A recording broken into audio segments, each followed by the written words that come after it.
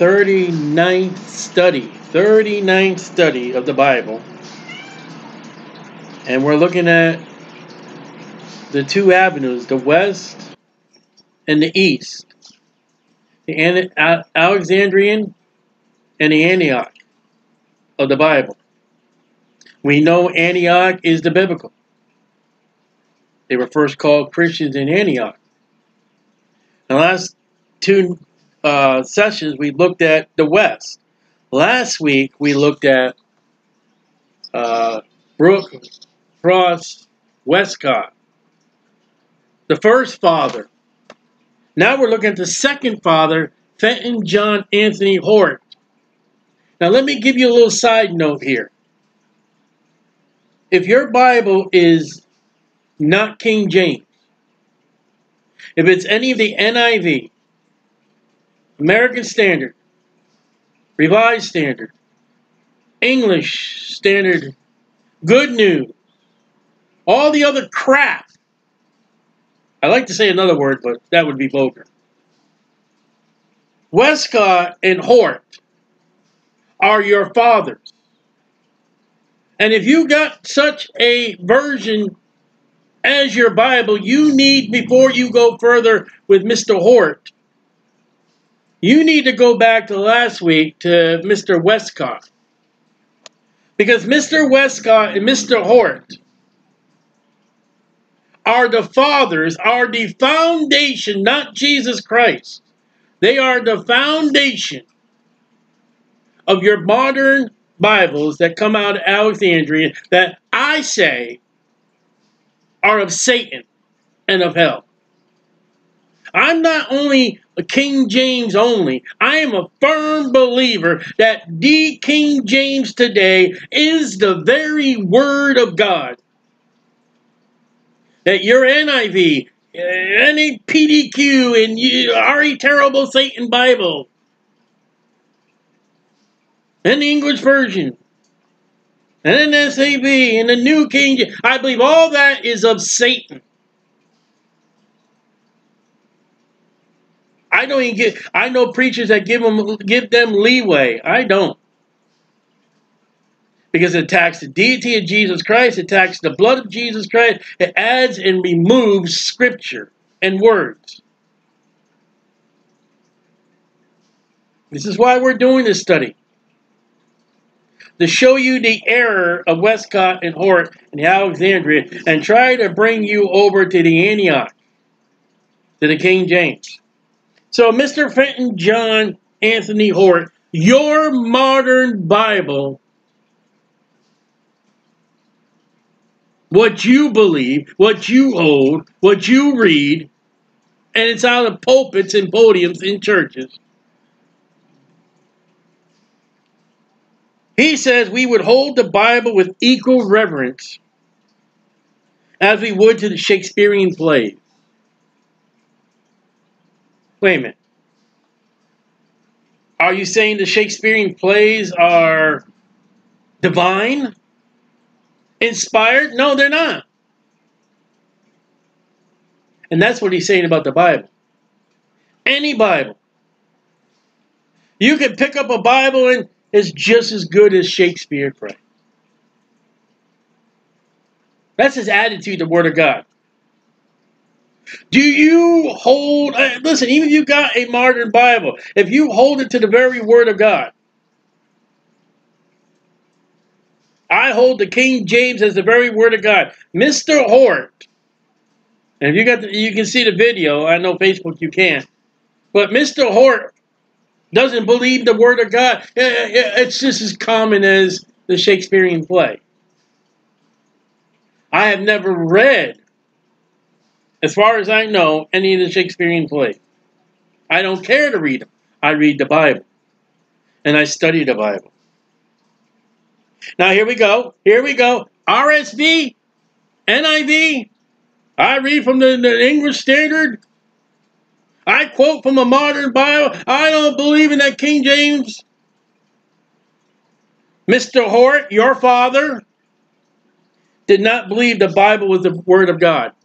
And what's he doing writing Bibles? What's he doing re revising Bible? What is he doing, the father of your modern Bible, if he doesn't even believe the Bible is the Word of God? And that's what you hold in your hands outside the King James Bible. If you hold any Bible but the King James, your father doesn't even believe it's the Word of God. And it, it, it's just as, I'd rather read, for, for him, I'd rather read Shakespeare's plays.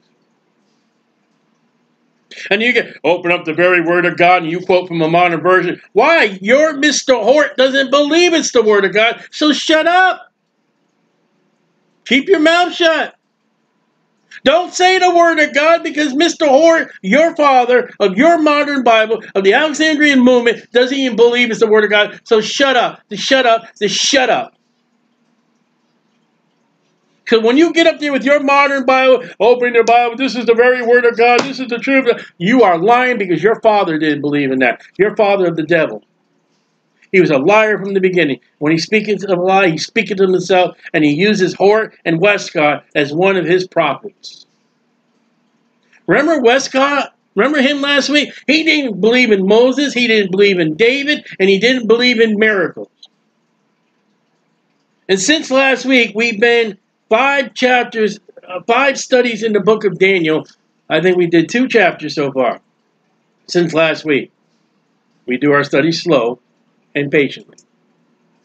And all the miracles that we read and studied with Nebuchadnezzar and Daniel, and Shadrach, Meshach, and Abednego, Westcott did not believe in those miracles. Westcott did not believe in David and, and, and Daniel, Shadrach, Meshach, Abednego, Mr. Hort doesn't even believe it's the Word of God. And if you have a choice between the Word of God, go to the library and get yourself a Shakespearean play.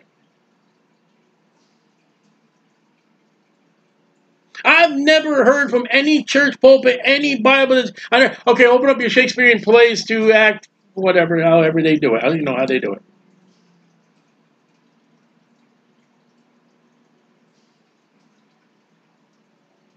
There is no hell, according to Hort. I bet you he believes in hell today. Because the men that uh, Westcott and Horton believe what we are what we are preaching and teaching today could not be saved because they even denied the virgin birth of Jesus Christ. And you deny the virgin birth of Jesus Christ, you cannot be saved. Westcott did not believe in miracles. The resurrection, three days and three nights, according to the scriptures, Jesus Christ arose from the grave. That's a miracle. You must believe the death, burial, and resurrection of Jesus Christ to be saved. I bet you West, I bet you Westcott and Hort today. I bet you believe there's a fiery hell. Now I bet you they would just have a little drop of water. Mm-hmm. You're full and you're a fool to get these fathers in their Bibles. You are a fool. You don't know the history. That's why we're doing this study. That's why we're putting them on video. Because you're too lazy to study history itself. I even had a pastor down south of Florida where I, uh, uh you're getting too much into history. History doesn't matter anything.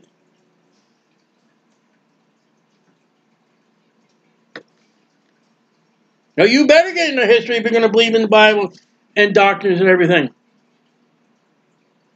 The history plays out. What do you think the Old Testament is? It's history. What is the world, what is America doing today? They're rewriting history. Okay. Number four, letter D. This is a quote. I'm quoting. I am inclined to think Westcott Hort, I quote, I am inclined to think no such state as Eden, and I mean the proper notion, even exists, and that Adam fell, Adam's fall in no degree different from the fall of each of his descendants, as Coleridge, we'll look at it in a moment, justly argues. End of quote. So the story of the fall of man, Adam and his wife who were sinless, the only sinless humans outside of Jesus Christ. And Mr. Hort said, well, his fall wasn't anything as spectacular as much as the fall of Cain and the fall. Of... Wait a minute. Cain and them were sinners. When Adam and Eve fell, that was a great fall because there was no death, there was no knowledge of good and evil, and there were no curses, and there was no sweating, and there was no death. But all you know, Mr. Hort said that was just you know everyday occurrence. You fool! You fool! And you that believe him are fools. Hort took kindly to the teachings of Coleridge C O L E R I D G E. Coleridge was a poet addicted to opium. Oh, well, that's a great real follower. I'm going to follow a druggie, Mr. Hort. I'm going to listen to the poet of a, of a druggie. a lot of your government today in America is following the druggies from the Woodstock era. You realize most of the people in Washington, D.C. today come out or are part or the children of the Woodstock age? Why do you think marijuana was made legal? That's what they were preaching during that time. You ever watch the TV show Dragnet, real stories that the names have been changed to protect and this, they Dragnet will tell you in their programs, and the druggies will say, "There's one coming a day we're going to legalize marijuana." 2022, we're in those days, and more and more states are going to legalize it.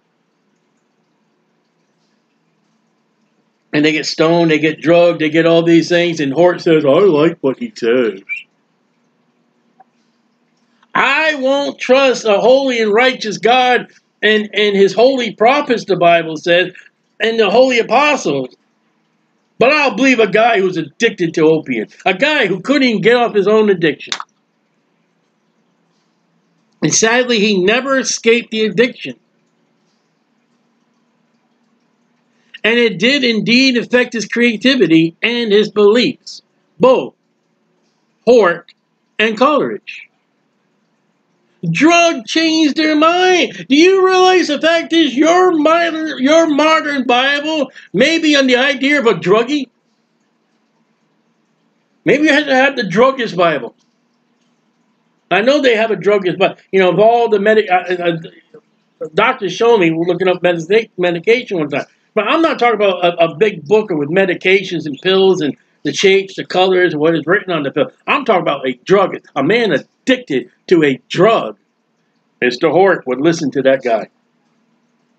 And you read his nonsense, and you take that nonsense as the very word of God, and to quote Mr. Hort, the fool, I don't believe the Bible is the word of God.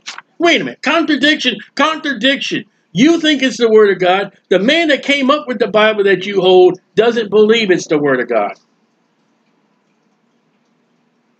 Let's see. I got my hand a can of soda, but it's not a can of soda. But it's a soda. But it's not a soda. Okay? I got a diet soda, uh, can of soda, but it's not a diet can of soda. Somebody's been smoking something. Well, I, don't, I don't know. What, what do you do with opium? You smoke it.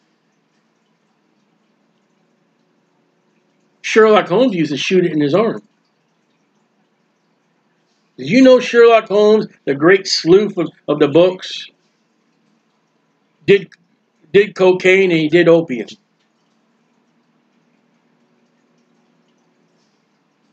I guess that's why Hort said, I like it just as much as Shakespearean plays. Maybe he liked Shakespeare. Uh, I don't know. What was uh, Sherlock Holmes around in his time? I'm looking at this guy, I'm looking at his eyes like, ooh. All right, letter F. Quote, quote, have you read Darwin? How I should like to talk with you about it. In spite of the difficulties, I'm inclined to think it's unanswerable. In any case, it is treat it is a treat to read such a book. End of quote. Jesus said, Go into all the world and preach the gospel. The death, burial, and resurrection of Jesus Christ. Mr. Hort, what would you like to talk about? Darwin's books. Wait a minute. He got from a druggie that Eden really wasn't Eden to the fact is he didn't believe the word of God. He thinks that you should have Shakespearean play. I would seriously doubt, like Mr. Westcott, evolution. Mr. Westcott came out and said evolution. Hort dabbled in evolution and reading the books of Darwin and said, I would like to talk to you about the books of Darwin. Never mind the books of Matthew, Mark, Luke, John, Acts, Romans, 1st, 2nd Corinthians, Revelation, Psalms. Which his friend Westcott didn't even believe, and Mr. Hort didn't even believe it's the Word of God. But I'll talk to you about Darwin. This is the father of your modern Alexandrian books called Bibles. ASV, Living Bible, Good News Bible, English Standard Version, RSV, the, uh, the New World. All those modern Bibles is not King James.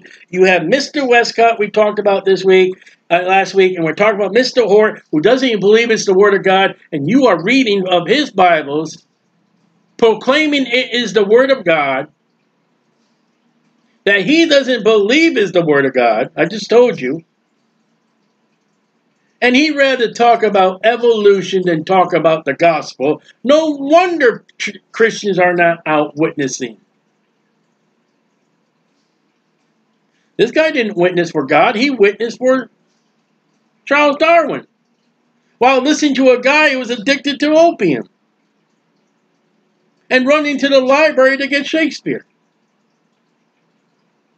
And you wonder why the churches are so messed up.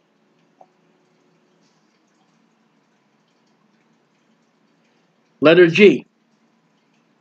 Oh, wait a minute. Hold on. Go back. Letter F, number one. But the book which has most engaged me is Darwin. That's a quote. Quote, the book that has most engaged me is Darwin. Whatever may be thought of it, it's a book that one is proud to be a contemporary with. My feeling is strong that the theory is unanswerable. If so, it opens up a new period. End of quote. This guy, Mr. Hort, would can I say my own personal opinion? Would like to have the Darwin books put into the Bible. He is a book. Hey, I'll talk to you about Darwin. And the, the, what what what book excites you, Mister Hort? Proverbs, John's Gospel. Are you excited about the Book of Revelation? The Book of Job, maybe? Psalms? No, Mr. Hort says. The writings in the books of Darwin excite me. And that's the father of your modern Bibles, the ESV, the NIV, and all those other junky Bibles that are of Satan. That's why I say these modern Bibles are of Satan. Look at Westcott and look at Hort. They are ambassadors, they are prophets of Satan, the liar. And they're probably in hell today. Where their Bibles are going to go.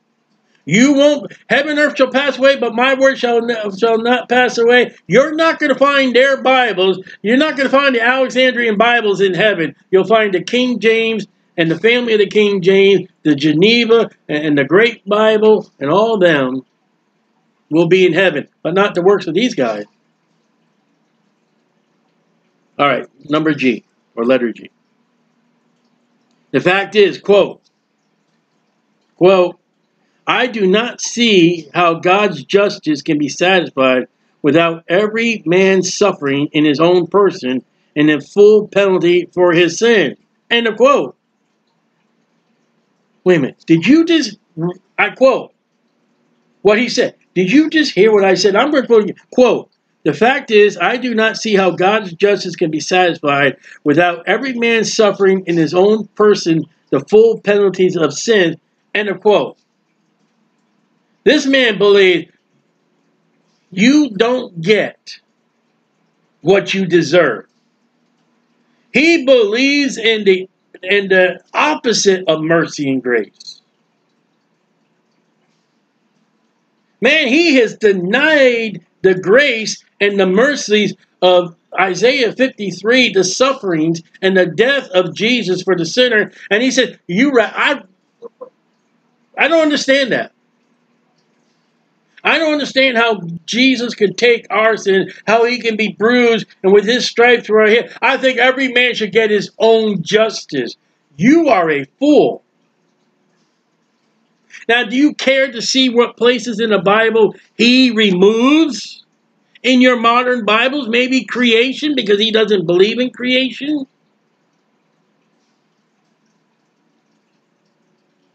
Do you look at the founders of Westcott and Hort and see where, why the places are removed? Why the deity of Jesus Christ is removed? Why is the blood removed? Because this guy says, I think you should get what you deserve. No, no, no. I don't want what I deserve because I deserve hell and double hell and triple hell and quadruple hell and tenfold hell.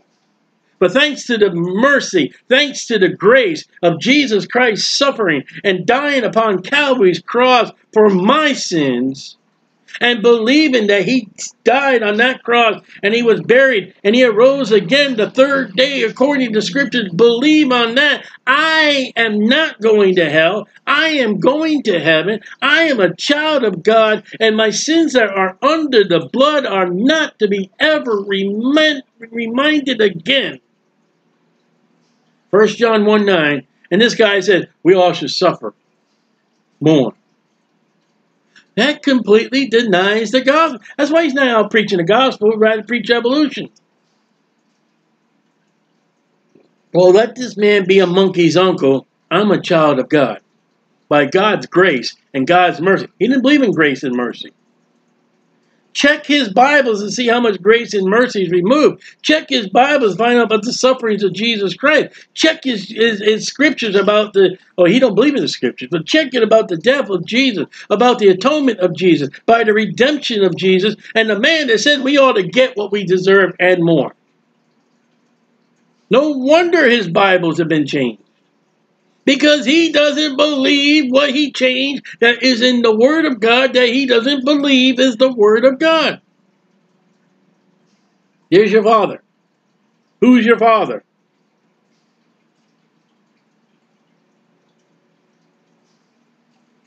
Quote, certainly nothing can be unscriptural than the modern limiting of Christ bearing our sins and suffering to his death but indeed, that is only one aspect of an almost universal heresy. End of quote.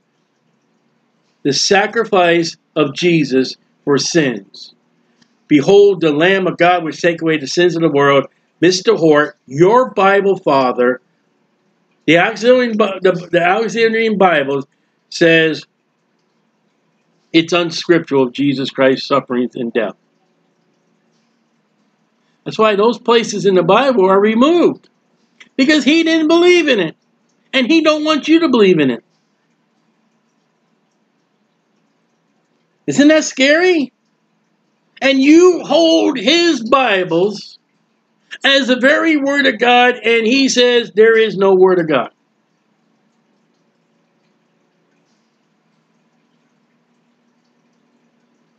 Nothing but the blood of Jesus. Mr. Oh, they, that's unscriptural. Up from the grave he arose. His horse said, Suffer in hell you ought to do.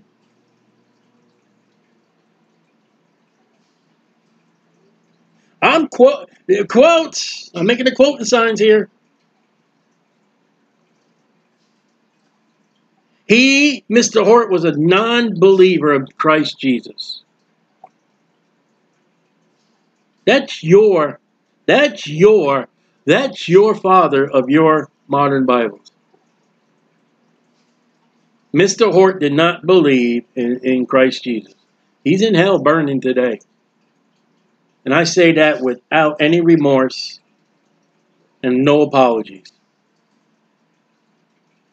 Mr. Hort, what do you think of Jesus today? You have a drop of water?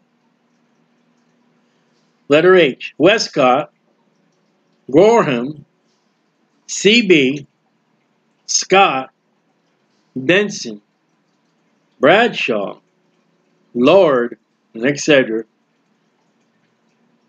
And I, this is him speaking, quote, him and his buddies have started a society for investigation of ghosts and all supernatural appearances and effects, being all disposed to believe that such things really exist, and ought to be discriminated from hoaxes and mere subject delusions. We shall be happy to obtain any good accounts, well authenticated with names. Westcott is drawing up a schedule of questions. Cope calls us the Cock and Bull Club. Man. Our temporary name is the Ghostly Guild. End of quote. Mr. Hort with Mr. Westcott said, We're going to start a supernatural ghostly guile, which was cock and bull club. I believe in ghosts. and we want to prove the good ghost from the lying ghost while we put a lying Bible that I don't believe is the, uh, the Word of God, Mr. Hort said, He believes in ghosts, but he can't believe in the atonement and the finished work of Jesus Christ. Fool! And you're a fool for following him. You, you, you, you, you, you, you with, with you with that perverted Bible, you are a fool for following a fool.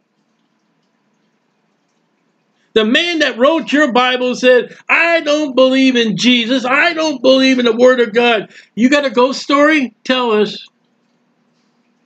Mr. Westcott is making up a list of questions to ask you. We want to prove our ghost is real. Who are you going to call for the Word of God? Ghostbusters! Ding, ding, ding. You know, I think this would be a movie if it wasn't true. That's why I put, for Mr. Hort, I had put into this study things that came out of his mouth or his words.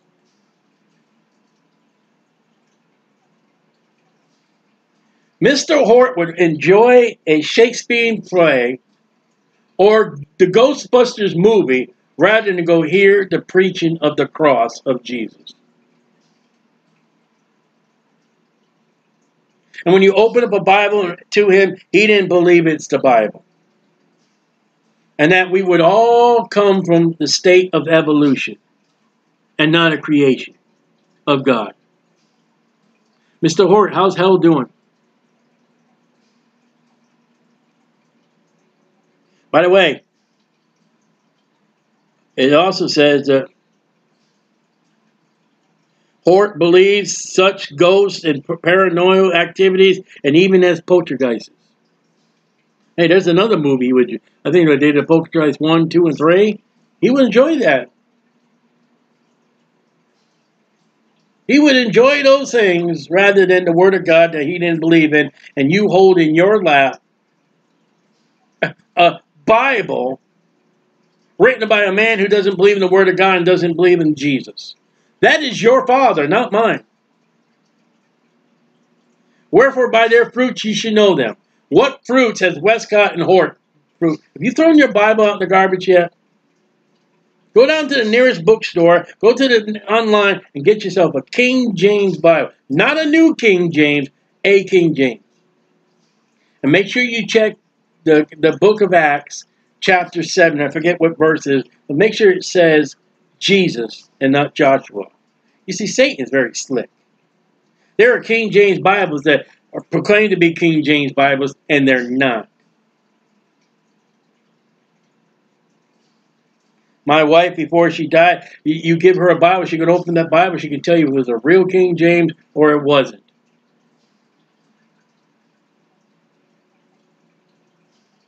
I know many pastors' wives that don't even realize what, what the Bible says. Don't even believe what the Bible says.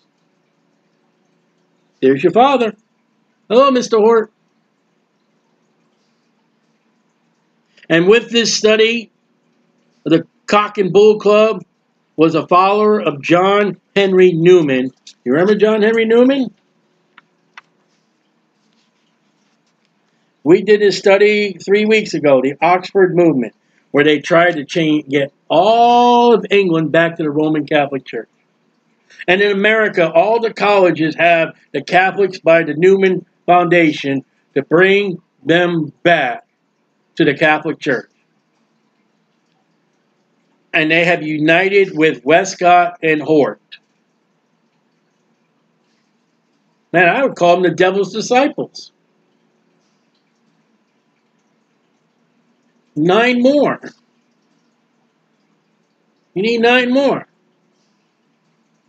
And Newman and Westcott and Hort are involved in anti-Bible, no scripture, can't believe the Bible, evolution, and ghost, and poltergeist. And friend, this is what your modern Bible, if it's not King James, this is the source of your Bible satanic, and devilish. And you thought Anton LaVey's Bible, the Satan Bible, you thought that was bad. No, that, he proclaims what it to be Satan's Bible. The NIV, the ASV, the RSV, the Good News, the New King James, they're all imitators. They're all anti Bibles like the Antichrist that's coming.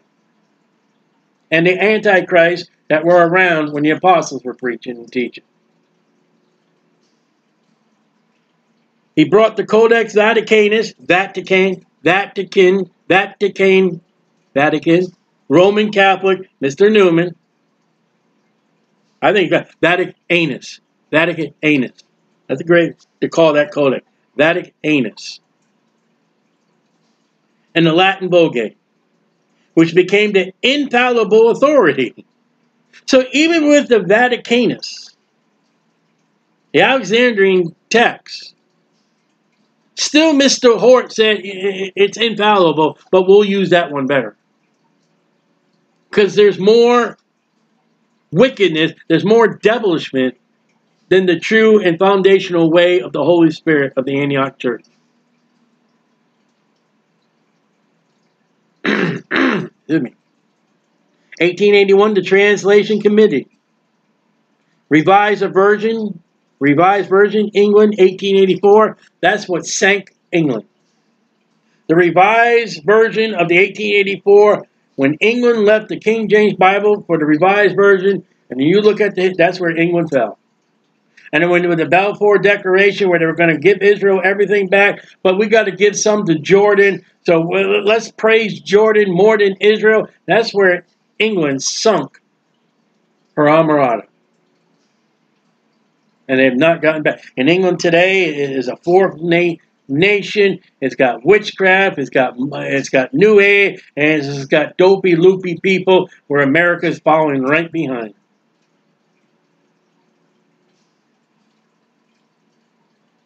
To America, we have the American Standard Version 1901. That's what sunk America. 1884, the Revised Version sunk England. 1901, the American Standard Version, sunk America. But it had no apocrypha, that's okay. It's still a wicked Bible.